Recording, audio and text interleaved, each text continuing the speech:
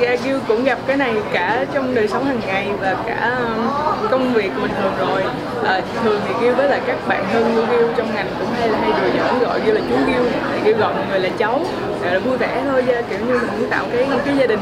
À, có thể là có vài bé thì hay xem thể xem mạng rồi nghĩ là ai cũng gọi chú Gil thì Gil là chú Gil thật. Hoặc là ở ngoài nhìn thì các bé nhìn cái phong cách thời trang của mình.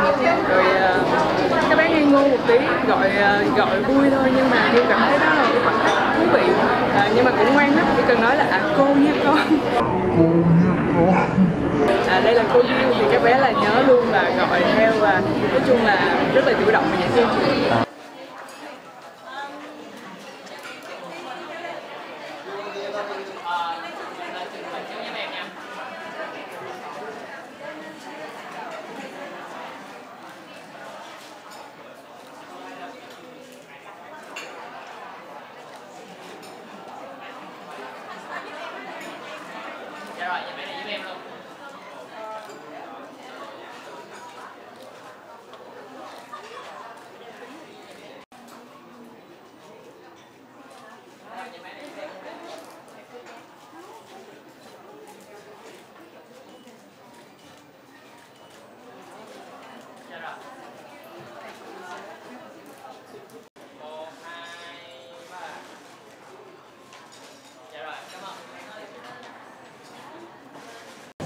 Ờ, mấy bạn ơi, mấy bạn ơi, ờ, mình mình cũng dồn dồn sáng thi với mình chứ nha.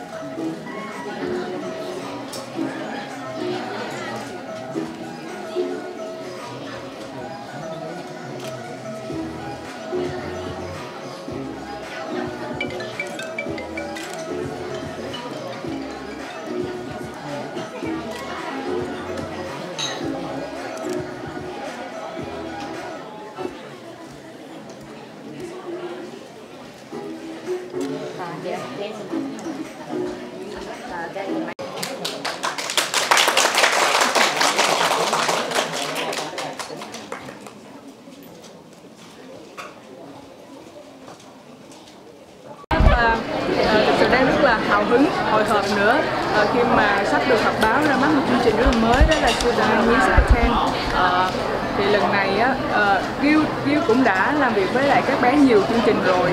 Và mình cũng đã làm MC nhiều chương trình rồi.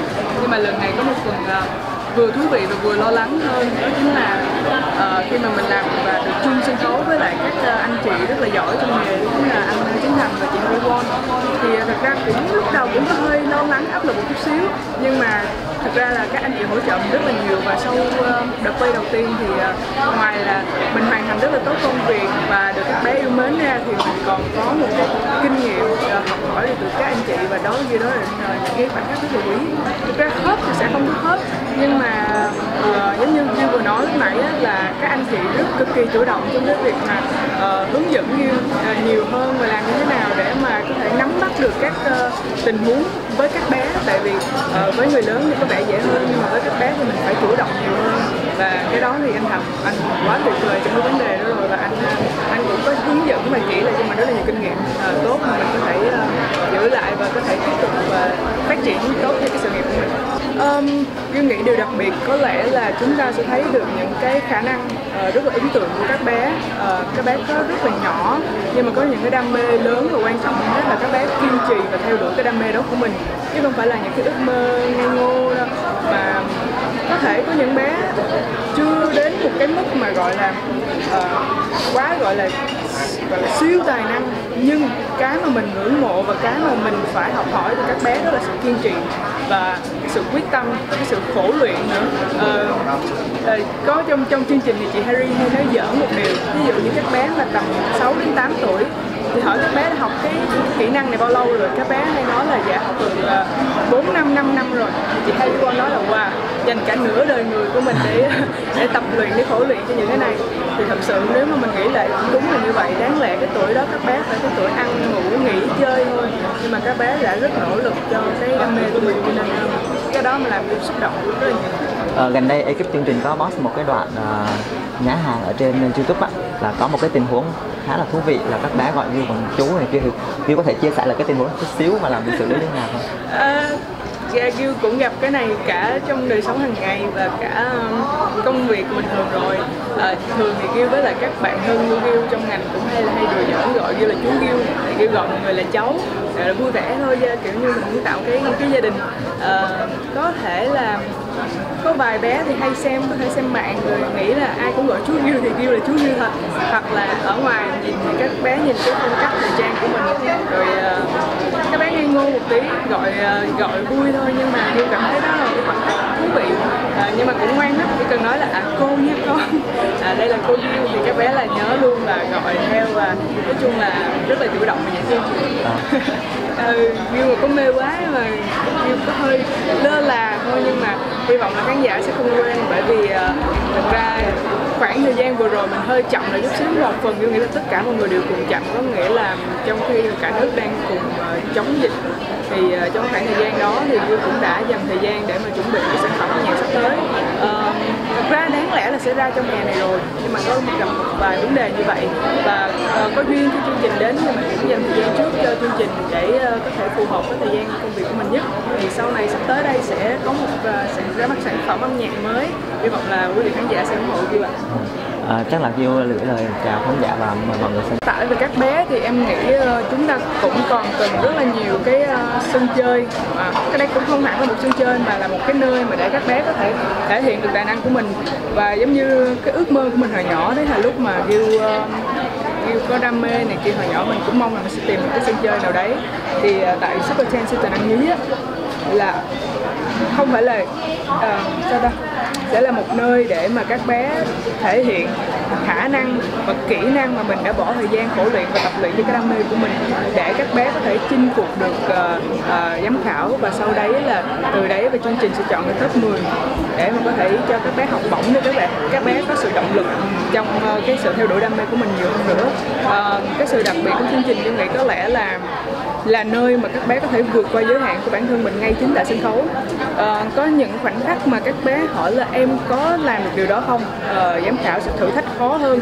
Ví dụ như khả năng của các bé chỉ đến năm và các bé nghĩ là à, con phải tập thêm một tháng nữa hoặc là một tuần nữa con mới làm được cái mức 6, mức 7, mức 8 nhưng mà ngay tại sân khấu có một cái sự động lực rất là mạnh một cái sự ờ, thúc đẩy từ ban giám khảo.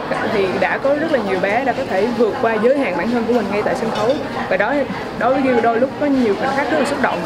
Thì Gil nghĩ ờ, đối với các bé đó cũng sẽ là một kỷ niệm là một cái điều mà các bé có thể học hỏi trong cuộc sống của mình là bất kỳ thời, thời điểm nào bất kỳ lúc nào. Chỉ cần các em cố gắng và quyết tâm thì các em có thể vượt qua được giới hạn của mình. Gil nghĩ như thế nào? Có một ý kiến cho rằng các chương trình truyền hình tế thì con nít có, có thể là um, lợi dụng những cái hình ảnh của trẻ con để uh, kiếm lợi nhuận và có thể là hơi bóc lột con nít một tí xíu.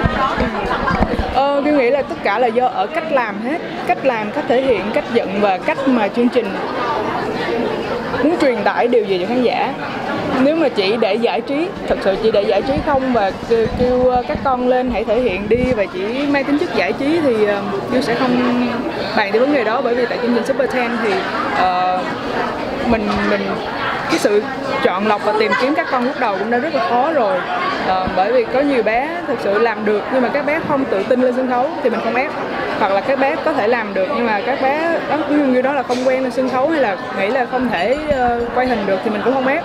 Chỉ là là một cái nơi một cái sân khấu mà để cho các bé phải tự tin với mình hơn thể hiện bản thân mình nhiều hơn. Thì uh, đó là Gil nghĩ tại Super Ten thì sẽ sẽ không có mang cái tính chất đó sẽ thật sự thì Gil đã tham gia chương trình dành cho con nít ấy, thì thôi Khánh thấy là Gil chắc cũng sẽ sẽ thích con nít nhưng mà hiện nay có một cái bộ phận uh, nghệ sĩ á, thì có xảy ra một cái tranh luận là muốn kết hôn và sống một cái cuộc sống hạnh phúc mà không cần có con á. Thì Gil nghĩ như thế nào về cái quan điểm này?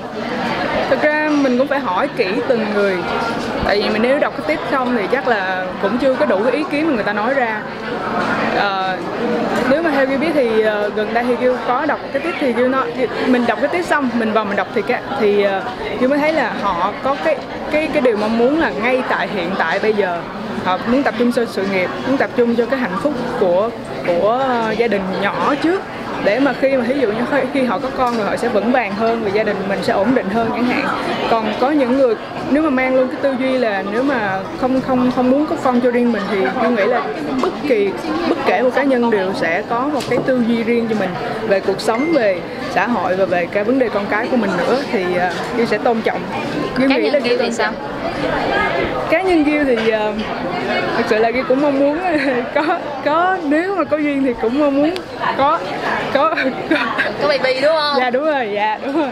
Tại vì à, anh trai Gil có một bé cháu à, có một mà ý Gil có một cái bé cháu ruột thì khi mà mỗi lần chăm sóc và chơi với cháu thì Gil cảm thấy rất là vui và hạnh phúc. Thì nếu mà có duyên thì Gil cũng mong muốn. Dạ. Xin được gửi lời chào tất cả quý vị khán giả và các anh chị báo chí. Thì uh, đây không phải là lần đầu tiên tôi làm MC của một chương trình về các có, có sự xuất hiện của các bé nhí. Uh, chỉ là cảm thấy là lần này sẽ thú vị hơn rất là nhiều khi mà có thể tiếp xúc với các bé gần hơn nữa, đồng hành với các bé nhiều hơn, lắng nghe các bé nhiều hơn. Cho nên uh, cũng rất là hào hứng ạ.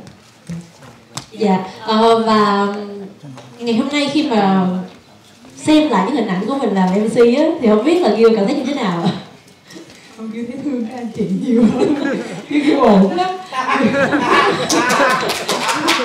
thì mình đứng trên trận á, các bé thường là các bé hay có một cái cảm giác là ồ giám khảo thách tôi hả? Xin mời giám khảo lên đây thử làm coi được không? Trước đã còn mc đứng dưới là chỉ để mà động viên các bé thôi ạ. Cho nên cũng thoải mái lắm. Dạ, tha hồ là muốn đưa thử thách gì thì đưa đúng không? đúng rồi. Dạ, mình là MC muốn làm gì làm. Cảm ơn Gil rất nhiều và hy vọng là Gil sẽ thực hiện thật là tốt. Vai trò MC, ờ, một vai trò rất là mới trong chương trình 10 sự tình đăng nhí. Cảm ơn Gil. Cảm ơn cũng rất nhiều và Ghi cũng xin gửi lời à, cảm ơn đến uh, chương trình nè, Madison Media Group và các anh chị nữa vì à, khi mà tham gia chương trình này thì thực sự là Gil được học hỏi nhiều hơn và Gil có rất là nhiều kinh nghiệm nhiều hơn từ các anh chị đã hướng dẫn cho Gil à, và à, cũng cảm ơn đã cho Gil có cơ hội được đồng hành với các bé. Thank you.